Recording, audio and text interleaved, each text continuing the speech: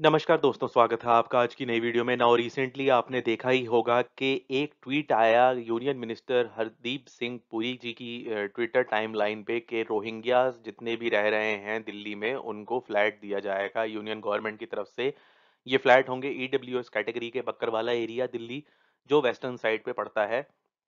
और इसके बाद काफ़ी बवाल शुरू हो गया ऑनलाइन, काफ़ी सारे न्यूज़ पोर्टल कल की ब्रेकिंग न्यूज़ थी ये एक तरह से अगर आप देखें तो और उसके बाद इतना ज़्यादा सरकार के खिलाफ आक्रोश लोगों में पैदा हो गया कि भई एक रिफ्यूजीज़ हैं, ये इल्लीगली देश में रह रहे हैं, आप इनको क्यों फ्लैट्स प्रोवाइड कर रहे हैं? ईडब्ल्यूएस अ, फ्लैट जो इकोनॉमिकली वीकर सेक्शंस के लिए जो बनाए गए हैं और जो टैक्स पेयर के पैसे से बनाए गए हैं, जो दूसरे देशों से विस्थापित बाकी धर्म के लोग हैं, हिंदू हैं, सिख हैं, जो अफ़गानिस्तान से आए हैं, आप उनको नहीं दे पा रहे, जो कश्मीरी हिंदू हैं, उनको आप प्रोवाइड नहीं कर पा रहे बेसिक फैसिलिटीज़ और इनको आप फ्लैट देंगे। दरअसल इस ट्वीट में ये कहा गया कि इनको फ्लैट प्रोवाइड होगा गवर्नमेंट फैसिलिटीज़ प्रोवाइड होंगी बिजली, पानी की सुविधा होगी और पुलिस सिक्योरिटी रहेगी राउंड द क्लॉक इनके आस-पास। इनके जो यूएनएचआरसी के कार्ड हैं, वो इनको जारी किए जाएँगे। तो इसके बाद काफ़ी सरकार को विरोध झेलना पड़ा और ये सारा जो मामला था वो हुआ किस वजह से? दरअसल एक वेबसाइट है, एएनआई वेबसाइट। ये आप देखेंगे उसी एएनआई वेबसाइट पे ये एक आर्टिकल पब्लिश हुआ कि रिफ्यू Rohingya refugees in Delhi to get roof above their heads. अब ये आर्टिकल किस बेस पे पब्लिश हुआ था? जो क्या रिपोर्ट थी जो इनको सोर्सेज़ से पता चला इन्होंने आर्टिकल पब्लिश किया, वो मैं आपको आगे बताऊँगा। अभी हम थोड़ा बेसिक समझ लेते हैं कि ये सारी कन्फ्यूज़न एक्चुअली हुई क्यों थी? तो इस वेबसाइट का आर्टिकल ही हरदीप सिंह पुरी जी ने अपने ट्वीट पे शेयर किया। ये आप देखेंगे दूसरी साइड मैंने एक साइड आर्टिकल लगाया है, दूसरी साइड हरदीप सिंह पुरी जी का ट्वीट लगाया है। इन्होंने इसी आर्टिकल को कोट किया था और इसी के बेसिस पे इन्होंने ये ट्वीट किया और इन्होंने थैंक्स भी बोला यूनियन मिनिस्ट्री को अपनी और नरेंद्र मोदी जी को जो प्राइम मिनिस्टर हैं और इन्होंने बहुत बढ़-चढ़ के इसको जो बोला। अब सारा मामला क्या था? इस आर्टिकल के अंदर क्या लिखा हुआ था? कि 1100 रोहिंग्यास जो दिल्ली के अंदर टेंटों में रह टेंट्स में रह रहे हैं उनको बेसिक फैसिलिटीज़ के साथ बने हुए ईडब्ल्यूएस अ, कैटेगरी के फ्लैट दिए जाएँगे, राउंड द क्लॉक सिक्योरिटी होगी। और ये डिसीज़न लिया गया है आफ्टर हाई लेवल की meeting over the accommodation of Rohingyas in national capital was held. ये कहाँ पे हुई थी और किसकी अध्यक्षता में हुई थी? दिल्ली चीफ सेक्रेटरी की अध्यक्षता में ये हुई थी मीटिंग। और इस मीटिंग में the meeting was chaired by chief secretary of Delhi and was attended by senior officials of Delhi government Delhi police and ministry of home affairs. तो इसमें तीन, जो है, सरकारों के तीन पक्ष शामिल थे। दिल्ली गवर्नमेंट थी, दिल्ली पुलिस थी और मिनिस्ट्री ऑफ़ होम अफेयर्स। इस मीटिंग में ये मीटिंग जो थी लास्ट वीक जुलाई में की गई थी और इसमें ये बोला गया था दिल्ली सरकार की तरफ़ से कि हमें हर महीने सात लाख रुपए जो है वो खर्च करना पड़ रहा है रेंट के रूप में और जो सुविधाएँ दी जाती हैं, जो किराया वगैरह है ज़मीन का रोहिंग्यास के लिए, जो मदनपुर खादर में एक एरिया है वहाँ पर इनको रखा गया है। तो उनके ऊपर हमारा खर्चा हो रहा है तो इसलिए हम आपसे रिक्वेस्ट करते हैं कि आप इन रिफ्यूजीज को दिल्ली म्यूनिसिपल कॉरपोरेशन एनडीएमसी के जो फ्लैट्स हैं Bakkarwala village, outer Delhi, outer western Delhi की तरफ़ पड़ता है ये जो नजफगढ़ एरिया, जनकपुरी की साइड अगर आप जाएँगे, वहाँ पर पड़ता है तो वहाँ पर इनको फ्लैट देने की इन्होंने रिक्वेस्ट की और वहाँ पर 250 फ्लैट बनाए गए थे, जो इकोनॉमिकली वीकर सेक्शन कैटेगरी के लिए थे। उस, उन फ्लैटों में ये दिल्ली गवर्नमेंट की तरफ़ से रिक्वेस्ट हुई कि आप इनको वहाँ शिफ्ट कर दीजिए। अब इस मीटिंग के अंदर दिल्ली पुलिस को ये आदेश दिल्ली पुलिस वर इंस्ट्रक्टेड, उनको आदेश दिया गया और कि आप इनको सिक्योरिटी प्रोवाइड करेंगे प्रेमिसेस के अंदर जहाँ भी ये फ्लैट लोकेट होंगे social welfare department of Delhi government had been order to ensure basic facilities like fan मतलब उनको पंखा, बेसिक सुविधाएँ तीन टाइम का खाना, लैंडलाइन फ़ोन, टीवी और recreational facilities in the new campus. ये सारी फैसिलिटीज़ इनको दी जाएँगी ये दिल्ली सरकार की तरफ़ से रिक्वेस्ट की गई थी यूनियन मिनिस्ट्री को, यूनियन गवर्नमेंट को। Delhi government has been ordered to equip the flat with basic amenities and hand it over to FRRO, Foreign Regional Registration Office, which will facilitate the shifting of Rohingya into these flats. ठीक है? उसके बाद during COVID NDMC had provided these flats in the Bakarwala areas to Delhi government for isolation of suspected cases of corona virus infection तो COVID के time पे NDMC ने ये flats जो हैं वो दिल्ली गवर्नमेंट को ऑफ़र किए थे कि भाई आप आइसोलेशन के लिए इनको यूज़ कर सकते हैं पेशेंट्स की। उसके बाद जितने भी रोहिंग्याज़ हैं, जो शिफ्ट किए जाएँगे इन फ्लैटों में, उनकी एक यूनिक आईडी बनेगी, United Nation High Commissioner of Refugees के नाम से और इनकी डिटेल्स जो हैं वो रिकॉर्ड पे रहेंगी। ये सारा इस आर्टिकल के अंदर था। अब उसके बाद जब हरदीप सिंह पुरी अब आप देखिए रायता कैसे फैलता है। पहले इस आर्टिकल ने मतलब इस वेबसाइट ने आर्टिकल पब्लिश किया, उस आर्टिकल को हरदीप सिंह पुरी ने कोट करके अपना ट्वीट किया।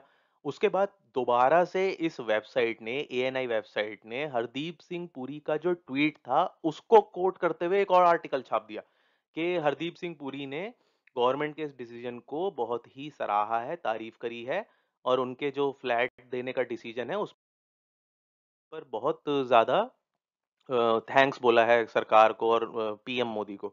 और उसके बाद तो लाइन लग गई जितने भी न्यूज़ पब्लिकेशन हाउसेज़ हैं या ऑनलाइन न्यूज़ पोर्टल्स हैं, जितनी भी मीडिया है, वो इसको इतना बढ़-चढ़ कर आर्टिकल इस पर पब्लिश होने लगे तुरंत। जल्दी से जल्दी मतलब कोई क्लैरिफिकेशन का वेट नहीं किया गया, कन्फर्मेशन का वेट नहीं किया गया, बस सबको ये होड़ लगी हुई थी कि सबसे पहले हम ब्रेकिंग न्यूज़ दे दें अपनी वेबसाइट पर अपने आर्टिकल पर और ऑडियंस ज है, जो ट्रैफ़िक है, जो मिलियंस फॉलोअर्स, व्यूअर्स और सब कुछ है, वो आ जाए जल्दी से जल्दी और हम सबसे पहले उसके अ, मतलब ब्रेकिंग न्यूज़ ब्रेक करने वाले बने। यूट्यूब पे भी लोगों ने इतने बड़े-बड़े जो अ, मतलब मीडिया हाउसेज़ हैं, इंस्टीट्यूट्स हैं, जो मतलब ट्रेनिंग दे रहे हैं बच्चों को, मैं तो देख के हैरान था कि आप कुछ सब्र तो करिए, एट लीस्ट कन्फर्मेशन तो आने दीजिए। धड़ाधड़ वीडियोज़ बनाई जा रही थी कल के फ्लैट्स मिल रहे हैं रोहिंग्यास को, भारत सरकार का बड़ा फैसला, ये वो और ऑनलाइन आप देखिए टेलीग्राफ का आर्टिकल देखिए, Rohingya refugees to get flats protection, police protection outer Delhi Bakkarwala. Indian Express ने छाप दिया कि हाँ भाई फ्लैट मिलने वाले हैं इनको और हरदीप सिंह पुरी की तरफ़ से बयान आ गया है। अब जब इतना ज़्यादा बवाल होने लगा, लोग गवर्नमेंट से क्वेश्चनिंग करने लगे, जो अ, मतलब एक्स गवर्नमेंट ऑफिसर्स रह चुके हैं, उन्होंने फ़ोन मिलाने शुरू कर दिए, इंक्वायरी करनी शुरू कर दी, ट्विटर पे गवर्नमेंट्स को बोलना, टैग करना शुरू कर दिया गवर्नमेंट ऑफिशियल्स को, मिनिस्ट्री को। उसके बाद होम मिनिस्ट्री, आप सोचिए गृह मंत्र जो गृह मंत्री हैं, अमित शाह का जो ऑफ़िस है, होम मिनिस्टर कार्यालय वहाँ से ऑफिशियल ट्वीट पे अनाउंसमेंट करनी पड़ी कि with respect to news reports in certain section of media regarding Rohingya illegal foreigners, it is clarified that Ministry of Home Affairs has not given any direction to provide E W S flat to Rohingya, illegal migrants at Bakarwala in New Delhi ये thread इन्होंने share की, तीन tweet की thread थी ये। उसमें फिर दूसरा ट्वीट ये था government of Delhi promised to shift the Rohingyas to a new location M H has directed the G N C T D to ensure that the Rohingyas illegal foreigners will continue to the present location at as M H A has already taken up the matter of the deportation with concern country through MEA illegal foreigners are to be kept detention centers till their uh, deportation. As per law, the government of Delhi has not declared the present location as a detention center. They have been directed to do the same immediately. I hope आपको समझ में आ गया होगा हिंदी में दोबारा समझाता हूँ जिनको नहीं आया ट्वीट समझ में गवर्नमेंट ने जो यूनियन गवर्नमेंट है, सेंट्रल गवर्नमेंट है, उसने दिल्ली गवर्नमेंट को बोला था कि आप इनको डिटेंशन सेंटर में शिफ्ट कीजिए, ये जो टेंटों में रह रहे हैं, या तो इसको डिक्लेयर कीजिए कि ये डिटेंशन सेंटर है, लेकिन दिल्ली सरकार ने वो ना तो उनको नई जगह शिफ्ट करा, ना उसको डिक्लेयर करा, जहाँ वो रह रहे हैं, डिटेंशन सेंटर। और दिल्ली सरकार ने एक लेटर लिख के बोला कि भैया आप इनको फ्लैट प्रोवाइड करिए, इसलिए गवर्नमेंट ने की तरफ़ से ये प्रोसीजिंग अभी चल रही थी कि इनको एक डिटेंशन सेंटर में रखा जाएगा सबको और उसके बाद इनकी जो प्रोसेस है इनको वापस भेजने की, जिस कंट्री से भी ये बिलोंग करते हैं, वहाँ मिनिस्ट्री ऑफ़ एक्सटर्नल अफेयर्स के द्वारा वो संचालित होगी, चलेगी आगे। लेकिन मीडिया में इसको इतनी जल्दी जो है फैलाया गया ब्रेक न्यूज़, ब्रेकिंग न्यूज़ की वजह से कि लोगों में मिसअंडरस्टैंडिंग हो गई, लोगों ने कुछ और समझ लिया और ये सारा जो है मिसकम्युनिकेशन हो गया। उसके बाद फिर मीडिया ने इसको क्लैरिफाई किया कि जब ट्वीट आ गया होम मिनिस्ट्री की तरफ़ से, उसके बाद आर्टिकल पब्लिश होना शुरू हुए कि after Puri tweet MHA says no E W S flats to Rohingya refugees to be at detention centres till deportation तो मिनिस्ट्री ऑफ़ होम अफेयर ने इस चीज़ को कंफर्म कर दिया और उसके बाद देखिए, अब जिस वेबसाइट की वजह से रायता फैला था उसी वेबसाइट ने फिर से तीसरी बार एक आर्टिकल पब्लिश किया इस चीज़ को क्लैरिफाई करने के लिए कि मिनिस्ट्री ऑफ़ होम अफेयर्स ने डायरेक्शन दे दिया है कि कोई ईडब्ल्यूएस फ्लैट वगैरह रोहिंग्यास को नहीं दिए जाएँगे तो ऑनलाइन किस तरीके से मिसकम्युनिकेशन और मिस इन्फॉर्मेशन फैलती है, इसका सबसे बढ़िया उदाहरण ये कल की न्यूज़ बनी है, अगर आप इसको एनालाइज़ करेंगे तो। और मेरी आपसे रिक्वेस्ट है कि ऑनलाइन किसी भी न्यूज़ आर्टिकल पे, किसी भी इंफॉर्मेशन पे तुरंत विश्वास करके अपनी कोई प्रतिक्रिया मत दीजिए, थोड़ा-सा सब्र कीजिए ऑफ़िशियल क्लैरिफ़िकेशन कन्फर्मेशन का, ताकि उस चीज़ को आप खुद कन्फर्म कर सके कि हाँ भाई ये फैक्ट है। ऑनलाइन कुछ भी हो सकता है, लोग व्यूज़ के लिए यूट्यूबर्स और ऑनलाइन मीडिया पोर्टल्स या न्यूज़ पब्लिकेशन जो होती हैं ऑनलाइन ये व्यूज़ के लिए या ऑनलाइन मतलब व्यूअरशिप के लिए ना कुछ भी छाप सकते हैं। हेडिंग कुछ और होगी और अंदर मटेरियल कुछ और होगा जब आप पूरा आर्टिकल पढ़ेंगे तो। तो इसलिए थोड़ा-सा अपने माइंड का यूटिलाइज़ कीजिए, बिल्कुल काम डाउन रहिए, शांत रहिए, किसी भी न्यूज़ पे, अफ़वाह पर तुरंत रिएक्ट मत कीजिए। और आपको पता है इस अफ़वाह का कितना बुरा असर हुआ? जो पाकिस्तान से रिफ्यूजीज़ आए हुए हैं, जिनको वहाँ से भगाया गया है मार-मार के, ठीक है? या अपनी जान बचा के वो भाग के आए हैं, वो बेचारे ये कह रहे हैं कि हम क्या अपना मतलब अपना धर्म बदलने अगर हम कन्वर्ट हो जाएँगे तो क्या हमें भी घर मिल जाएगा? अब आप सोच के देखिए कितनी बड़ी बात है, कितनी पीड़ा है उन लोगों को अभी तक ना बिजली की सुविधा मिल रही है, ना पानी की सुविधा मिल रही है, साफ़ पानी तक पीने को नहीं मिल रहा है, जो पाकिस्तान से रिफ्यूजीज़ आए हुए हैं। इतने बुरे हाल में रह रहे हैं कि उनके लिए लोगों को सरकार कुछ नहीं कर रही है, चाहे वो स्टेट गवर्नमेंट हो, चाहे वो सेंट्रल मिनिस्ट्री हो। उसके लिए लोग ट्विटर पे अभियान चला रहे हैं, चंदा इकट्ठा किया जा रहा है, डोनेशन इकट्ठी की जा रही है ताकि पर्सनल लेवल पे हेल्प की जा सके। तो ये हालात हैं। अब ये सारा जो मामला था कि इनको रिफ्यूजीज़ को जो है फ्लैट्स दिया जाएगा, रखा जाएगा, ये सारा मामला क्या था? अब आते हैं उस रिफ्यूजी कन्वेंशन 1951 एंड 1967 का जो प्रोटोकॉल है, जिसका हवाला दिया जा रहा था, हरदीप सिंह पुरी ने भी दिया था कि हम उसका सम्मान करते हैं, अपने ट्वीट में लिखा था, आप वो ट्वीट जाकर चेक कर सकते हैं। वैसे मैंने इस वीडियो में भी डाला है उसका स्क्रीनशॉट, अगर आप रिवाइंड करके देखेंगे तो आपको पता चल जाएगा। तो ये यूनाइटेड नेशन की मल्टीलेटरल ट्रीटी है, इसमें ये बताया गया है कि रिफ्यूजी कौन होता है और उसके राइट्स क्या हैं एज़ अ इंडिविजुअल उसको असाइलम कौन दे सकता है और किसको असाइलम मिल सकता है, ये रिस्पॉन्सिबिलिटी उन नेशंस की है जो जहाँ पर वो जाते हैं और इसका कोर प्रिंसिपल जो था is non refoulement which assert that a refugee should not be return to country where they face serious threats to their life और फ्रीडम के मतलब उस रिफ्यूजी को वापस वहाँ नहीं भेजा जा सकता जहाँ से वो भाग कर आया है अपनी जान बचाने के लिए। उसके बाद 1967 में 1967 में एक प्रो, प्रोटोकॉल और ऐड हुआ इसमें जिसके अंदर इसमें से जियोग्राफिकल और रिलीजियस जो पार्ट था वो हटा दिया गया। मतलब जो एक धर्म की लोगों के एक ऊपर रोक दिया के मतलब हमारा जियोग्राफिकल जो है वो बदल जाएगा। अगर दूसरे धर्म के लोग आ जाएँगे हम अब एक धर्म के लोग हैं, हम दूसरे धर्म के लोगों को एक्सेप्ट नहीं करेंगे, इस तरह का जो था ना वो जो बाउंडेशन थी वो भी हटा दी गई। और लेकिन इंडिया ने इसको साइन नहीं किया, इंडिया इसका सिग्नेटरी नहीं है। इंडिया ने ये ट्रीटी साइन नहीं की, इस ना प्रोटोकॉल साइन की, तो इसलिए इंडिया के ऊपर कोई भी प्रेशर नहीं डाल सकता कि आप इनको शेल्टर दीजिए या इनको रखिए अपने स्टेट में। वेस्ट जो बांग्लादेश है, बांग्लादेश इनको नहीं रख रहा, अरब कंट्रीज़ नहीं रख रही, टर्की नहीं रख रहा, पाकिस्तान नहीं रख रहा। सबने इनको रिजेक्ट कर दिया है और ये कह दिया है कि भाई हम पैसे दे देंगे ज़्यादा से ज़्यादा लेकिन हम अपने देश में रखेंगे नहीं। तो आप सोचिए कोई कंट्री नहीं रखने को तैयार है, तो आखिर उसका रीज़न क्या है? किसी ने ये नहीं पूछा कि रीज़न क्या है? क्यों सब इनको जो है अवॉइड कर रहे हैं? और रीज़न अगर आप यूट्यूब पे सर्च करेंगे तो देखो आपको बहुत सारी वीडियोज़ मिल जाएँगी मैं बेकार में इस वीडियो को लंबा नहीं करना चाहता। तो बहुत सारे रीज़न्स होते हैं कि एक पर्टिकुलर ग्रुप को क्यों कोई भी रखने को तैयार नहीं है, जबकि सेम रिलीजन के हैं।